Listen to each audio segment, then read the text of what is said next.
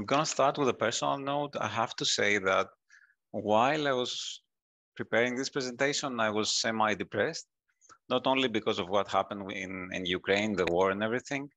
Of course, this showed to everybody that peace is not guaranteed. It's something that we cannot take as granted anymore. And a lot of us were like realized the situation is is has changed since what has happened the last years.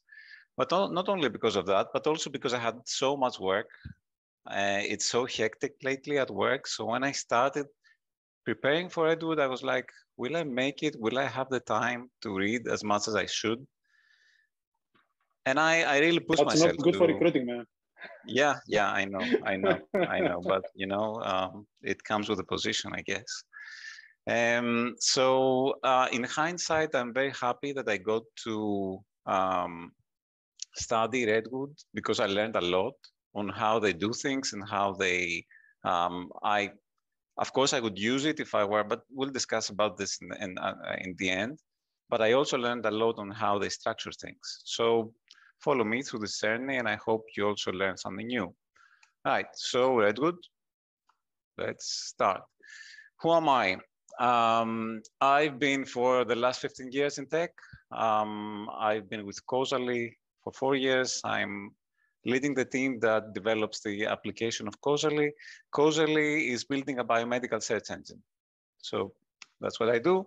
Um, and we have a guest star with us. I'm, I, I'm very happy to have Anthony, uh, who is uh, contributing to Redwood, and therefore he will uh, join me in, in, in 15 minutes, in about 15 minutes. And Angelo, I will need you to add him as a participant when the time comes. Um, yeah, great.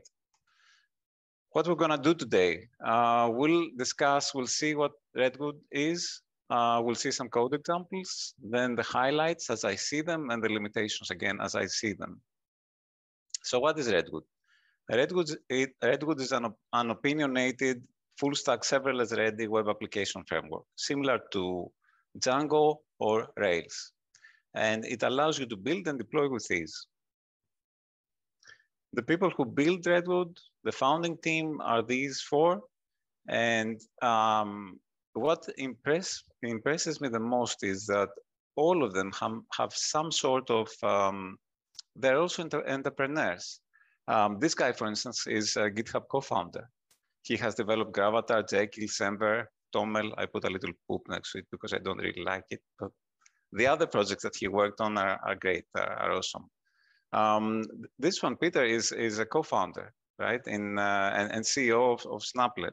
So you, you tend to see people that succeed in what they do as entrepreneurs, and then they, they don't care about tech anymore. But not these guys. And I'm, I'm quite impressed by this team. Redwood is powered by a lot of technologies that you already know. So in, in the front end, you have React. On the back end, the server, you have Fastify. You have GraphQL to as an interface between front end and back end. You have Prisma as the ORM for your database. You have Yarn to manage the packages and dependencies. You have Webpack to uh, split the front end code into and, and bundle it. You have Storybook to showcase your components. TypeScript, that's optional really, but I do like the fact that you can add it. Jest for testing, Pino for logging, and Babel, of course, for transpiling the code. So what the team did is that they took all these technologies, a lot of them are very popular, and they put lots of glue around it so that you can use them very easily. You don't need to configure Jest, you don't need to configure Babel, anything. You just, you know, you, you type a few things and you, you're, you're good to go. And whenever there was something missing, there was an open source library or something that uh, would cover for a particular use case, they built it themselves. Um, let's study the architecture of Redwood. Let's first focus on the upper part, which is, um, it's, it has to do with API. First of all, Redwood is very opinionated in how, on how the file structure should look like. It comes with two main folders. The first folder is called slash API. And in there, you put everything that has to do with the server. So you have your database schema, you have your GraphQL interface, services that contain business logic, and any other third-party API. You put this in here, And they're compiled into either, um, you can, sorry, they're not compiled, they're, you can deploy into either a serverless environment, or you can put it like in a monolith server and deploy it as you would typically do with any web application. That's on the front end. Then on the on on the on the back end, sorry. Then on the front end, you got slash web. The directory is called web, and I kind of like that because they made a, a choice not to call it front end. They made a choice to call it web because I think that you might have also other interfaces. You might have a CLI folder, or you might have a mobile application folder. Um, and I do think this is a great idea, to be honest. So in here you have your components, cells, which is something that, that we'll see later. Forms, they have a very good library that helps you with creating forms, your styles. And all of these go through Webpack, and from here, different chunks, and finally they go to the browser. Now, we need to say that the uh, Redwood is based on, on Jamstack. It's based, it's, they follow the Jamstack principles, which actually means that they separate front end from back end.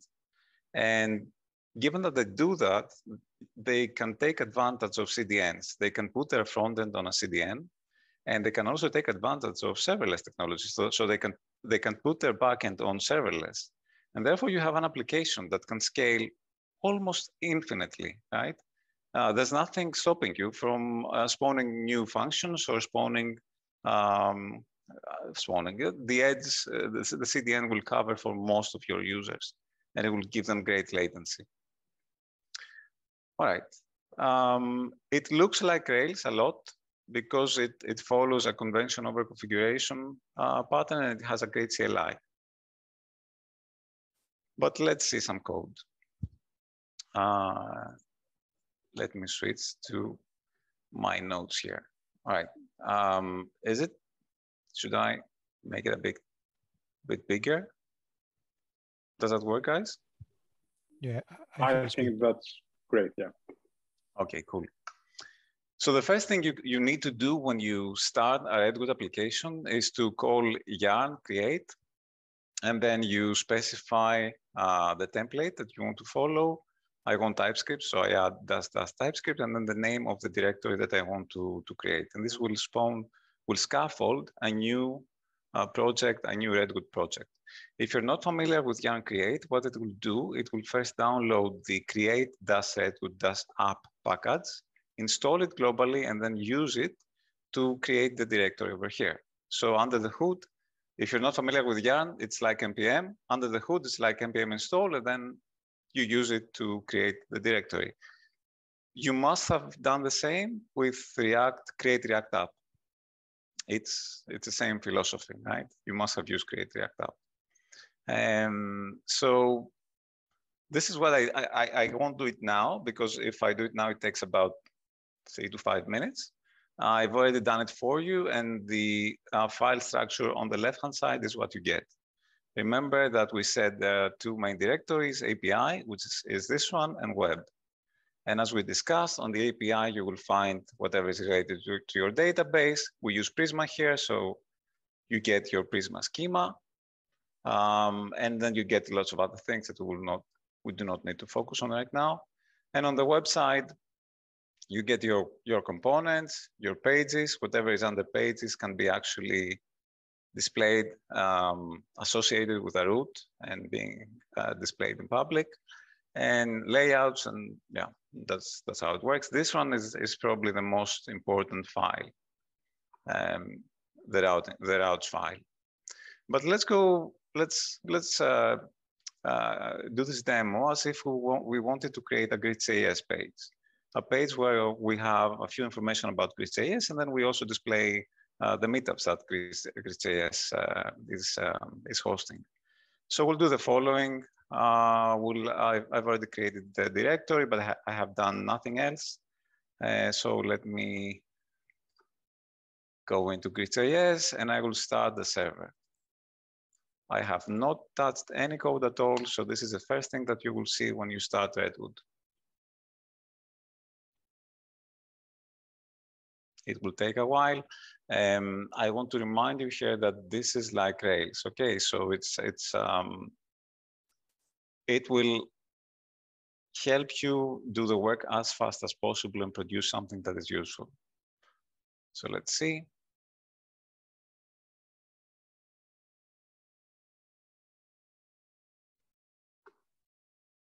Right, so this is the default page that we get.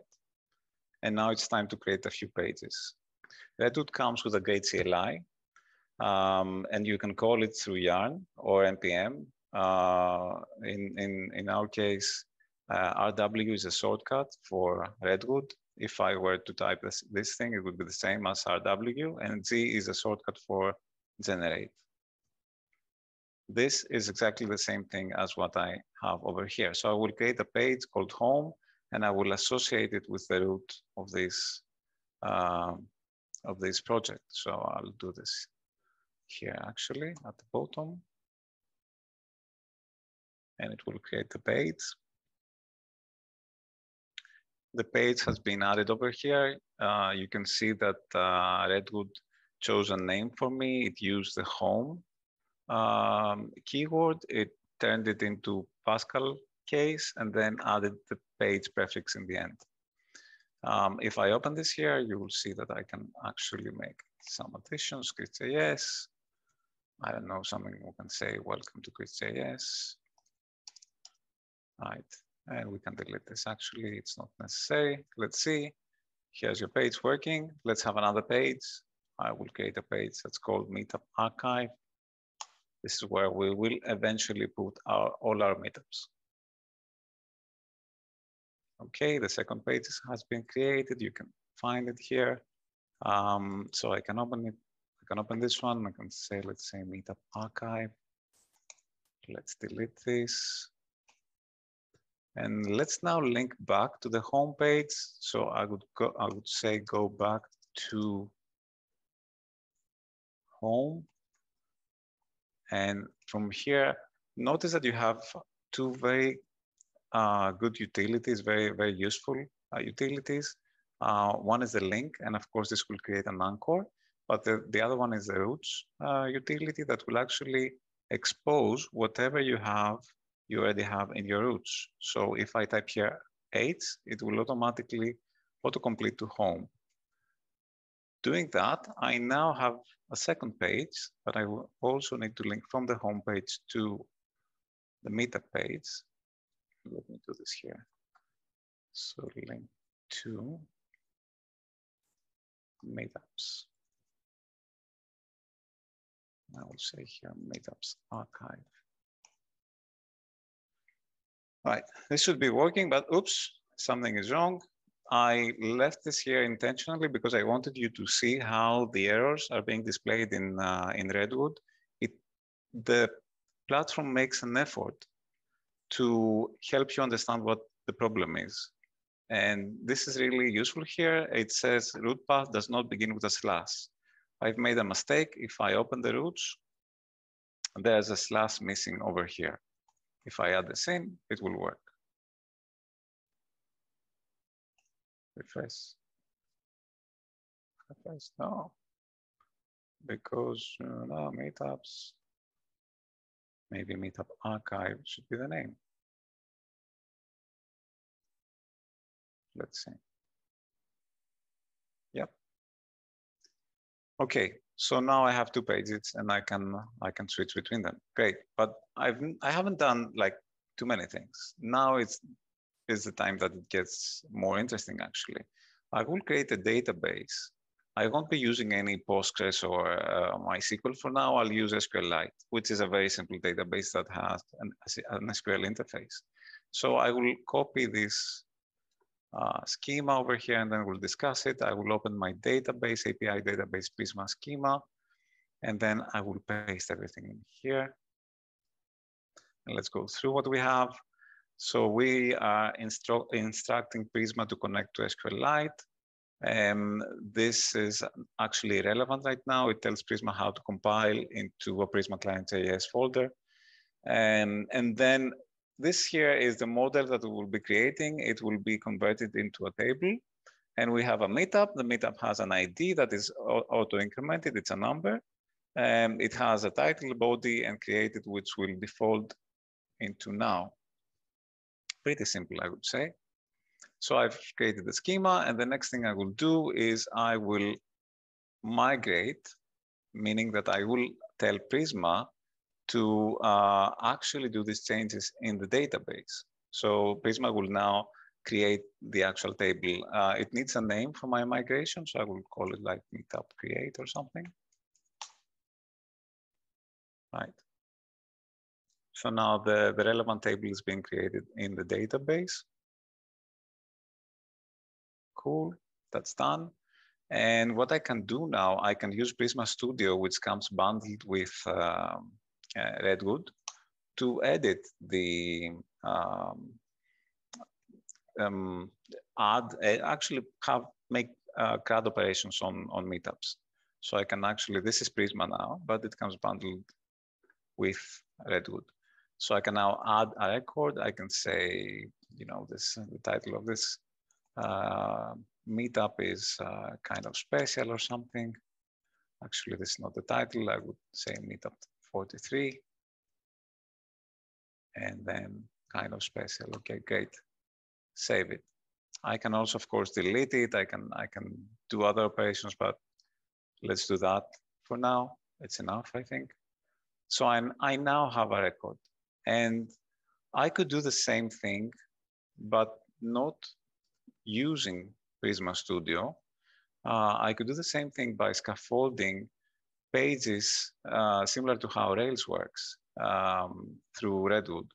It it will achieve a similar, uh, you know, the the objective is the same. We want to be able to manage um, um, meetup records. But I can, if I do this here, I can actually expose it to the world.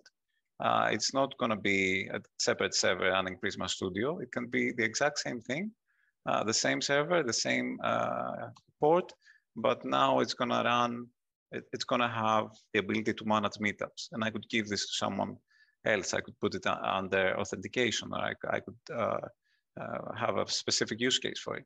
So when I run this, Redwood generates scaffold meetup. It created all sorts of things, different components, services, pages. And now if I go to uh, meetups and then refresh, this is now Redwood. It's not Prisma anymore. And I see the table of, of the meetups. I can uh, edit a meetup. I can add another meetup. I can do all sorts of operations here. All right, cool. But for the purpose of this demo, I will not be messing with that anymore. I just wanted to show you that Redwood provides that functionality. And for the purpose of this demo, I will go back to the initial page that I created. Uh, so I will go to the home page. And from here, I will go to Meetups Archive. No, I will go back to the routes. And I will actually delete this part because I don't need it anymore and I will follow through where we had left. In the meantime, Aguila, if you can add Anthony, because we're very close, that would be great. I'm here. I'm on the channel. Okay, great. Um, all right, so uh, back to home with archive. All right, let me uh, do one more thing. What I want to do here, I want to add a list of, of meetups, right? And I want to expose this to the world. So uh, what I will do here, I will use a cell. And this is like, I think the most impressive, in my opinion, uh, component of, uh, of Redwood. So I will create a new cell called meetup multi, uh, meaning that uh, we will get multiple meetups. When I run this, it will create a component that I will show you now, a module actually that I will show you now. Um, We'll go to components, meetup multi-cell, and it will create, first of all, have a look, it creates tests, stories, mock, everything, right? But I will focus only on this one. So this under the hood is using Apollo client. And it's it's kind of similar on, on of on of how Gatsby works. Uh, if you've ever used uh, Gatsby, you have the ability to expose a GraphQL uh, query And then the output of the query is available for you uh, on your component to uh, do whatever you want with it. Um, so that's that's the same thing here. Uh, the same thing is happening. You get your query. The query will bring back um, your uh, uh, multiple meetups. And from here, you can set what will happen during loading, what will happen if the, um, if the data are empty, what will happen if there's a failure, you get the error, and you do something, and what will happen in the case of a success, right? So um, in that particular case, in the case of success, I might want, for instance, to say, I have a list, and then I do something with the meetups. Um, I I'm a bit worried to be honest because now I see this meetup multi has an ID, but it shouldn't. So I'm not exactly sure what's going on here. Uh, should be meetups to be honest, but okay. Let me try to remove this. So maybe didn't understand. What did I run? As always, the demo will fail. um, right. Um, let's let's follow through and maybe uh, I haven't understood something correctly. So how do you use this? You go to the Meetup archive page and you simply call it as if it was a, a component. You say Meetup multi-cell.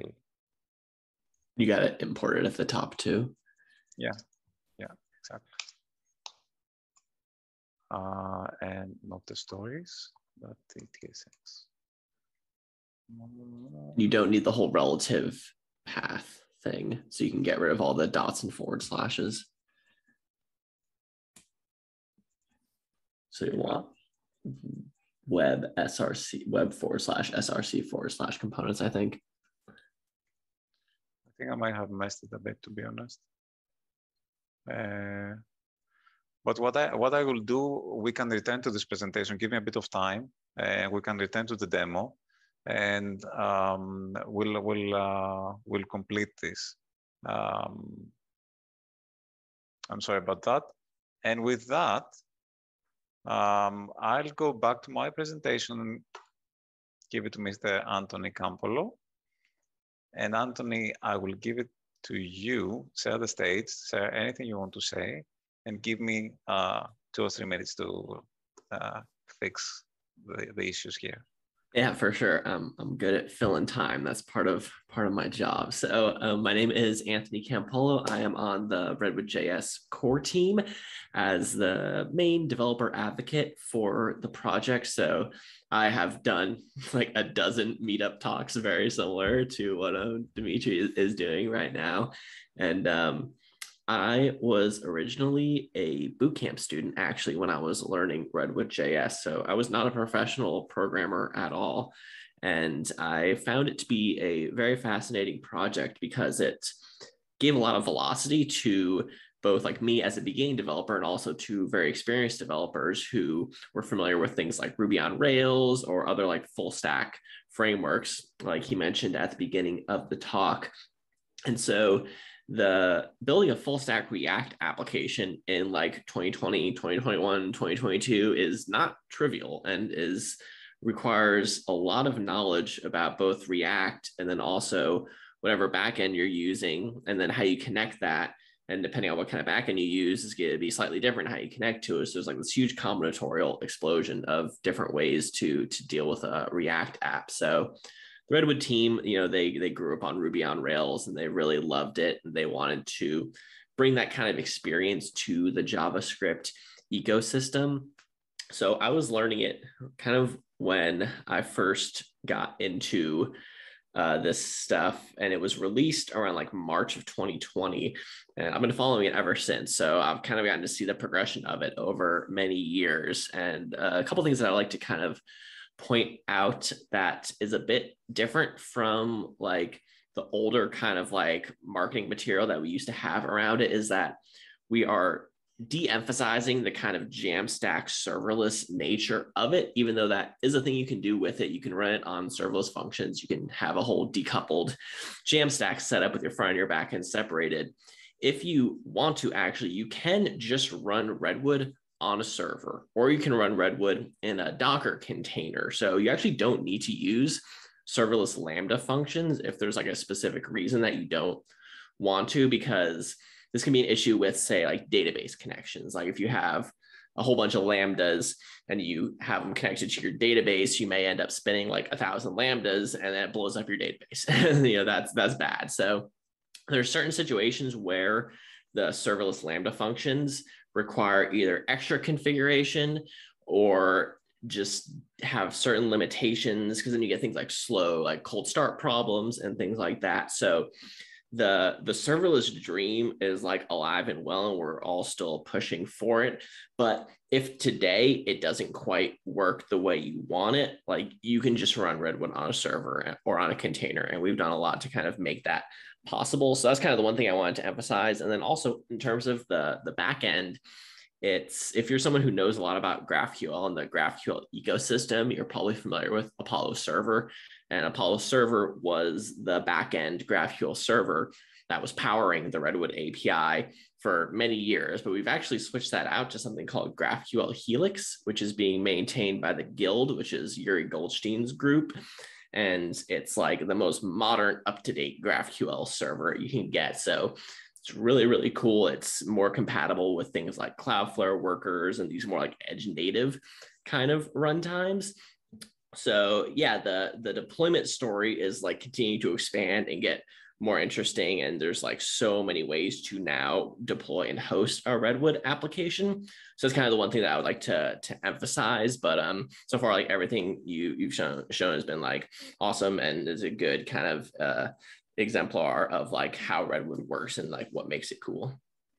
And then feel free if anyone has questions to just let me know. We'll do that. Let me conclude the uh, because I have I, I, I took this seriously. I need to I need to push through. So I will uh, I've now fixed the meetup sets. I probably called something.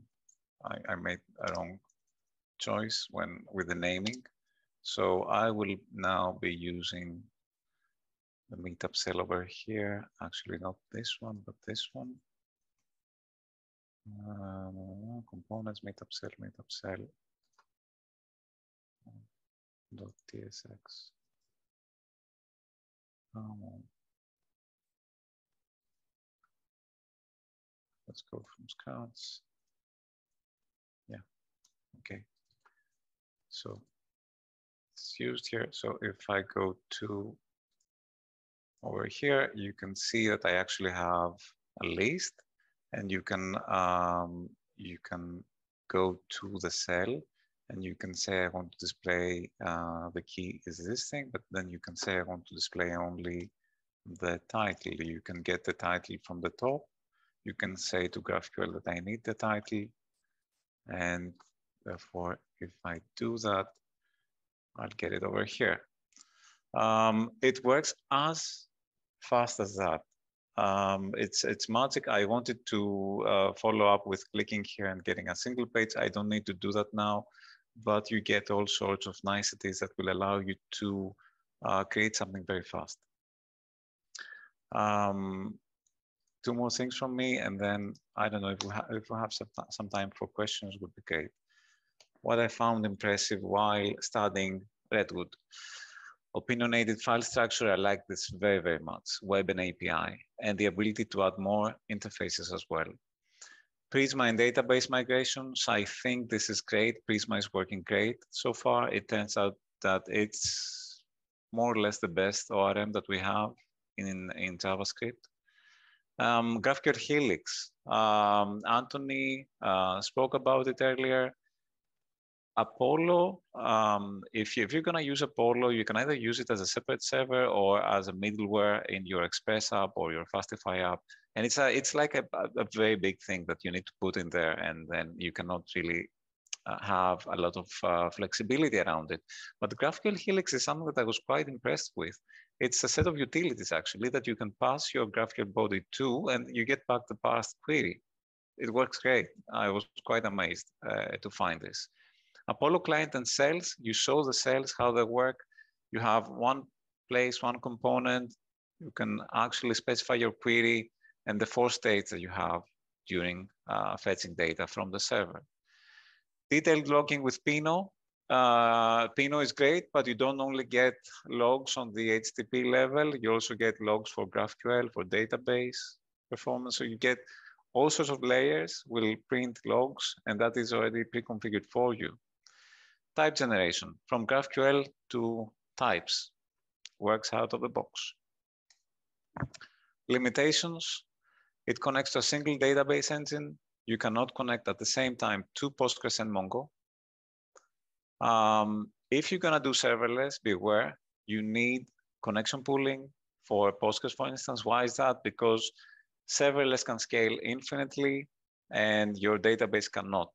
So if you're gonna create a new connection, it, it will come to a point where the database cannot support any more connections and it will break. You don't want this to happen and therefore you need to be careful and use um, a load balancer for databases though, like PgBouncer. Number three, it supports a limited set of deploy targets, Netlify Vercel serverless command render. I would say that these are the most important ones. And you can also write your, your own uh, custom logic, but these are supported out, out of the box. So if you want AWS uh, functions or uh, cloud functions, you should probably set the internet for a plugin or something. That's what I have seen so far. So let's give it, uh, give some time for questions if we have, in five minutes if we can afford.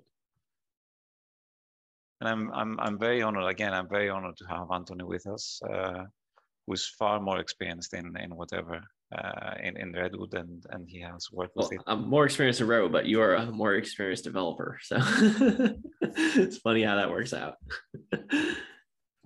Right. So do we have some questions? You can use the Q and A function of. Yeah. Uh, so we got a question about um, SSR. So this is like one of the very first questions people were asking about Redwood when it first came out.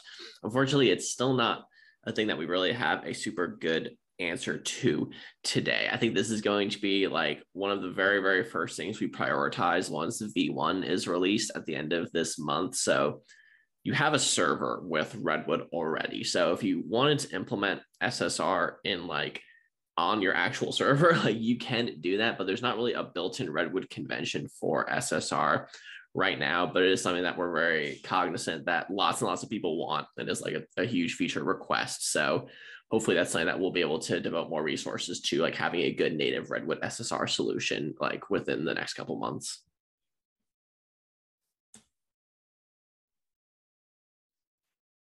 Great. Any other questions? You can type on the chat or yeah, we have Q&A. Let's see two of them just a moment. Hmm.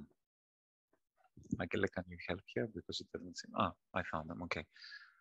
What kind of application do you have in mind when designing when designing your roadmap? Uh, what kind of applications?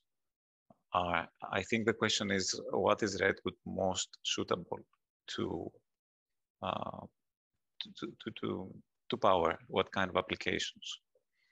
Yeah, I would say it's um, like data intensive dashboard type apps. Like it's for like definitely for applications, not for websites. And this is uh, our our example is kind of like a blog, which is honestly like not a great example of like what Redwood is actually for. It's a, it's a nice mental model. It's like learn the framework and and see what it can do. But for the most part like it's it's really for for app for database backed applications. And so if you like some of the the things that people are using it for there's like everfund which is for uh, like generating donation links and doing like managing all the kind of workflows around like payments and things like that. And then we have like teamstream which is based around managing like uh, live streams and things like that. So it's definitely like leaning like uh, I don't know if anyone here knows like Swyx Shawn Wang. He has a famous saying that Svelte is for site, React is for apps.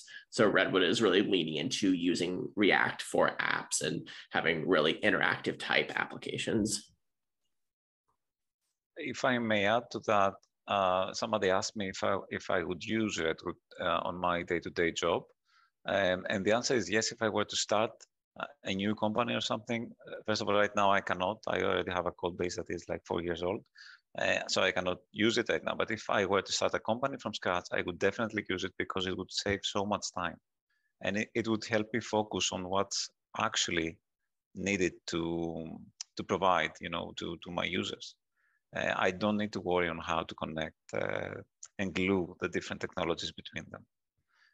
Yeah, and um, that's why we're leaning into saying that it's for startups. Like you don't need to use it to build a startup, obviously, but if you are someone yeah. who is like putting out a product, then it's something that you'll definitely want to look at. There's a question: Can I migrate an Express Create React app to Redwood?